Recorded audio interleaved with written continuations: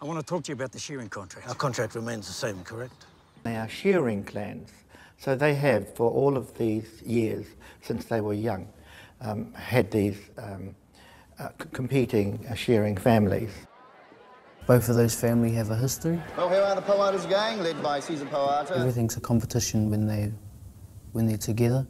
The fastest individual shearer two years running. They compete over jobs. Who's the best person for their job? Who's the fastest? And action! They were supposed to be a speed shearing family. But so we had really great doubles, and uh, the, the doubles were shearing like lightning, and, uh, and the actors made it look like they were as well. Turned out pretty, pretty well in the end.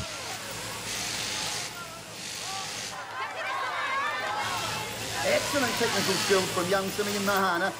And I think it's fair to say his father taught him. The two families um, presided over by two patriarchs, Tamihana Mahana Couldn't on one till the old side, fella was dead and buried. and on the other side, Rupeni Poata.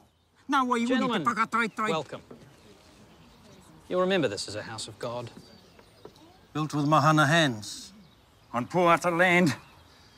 And that really is what the story is about.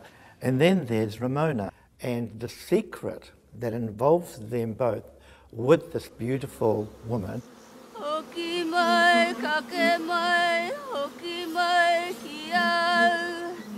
E karanga tune i e.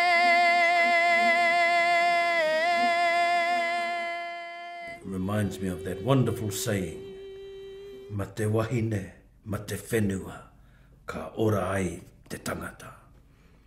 By man, by, by woman, by land, we shall survive. Then it also goes, Ma te wahine, ma te whenua, ka mate te tangata. For land and woman, a man will die,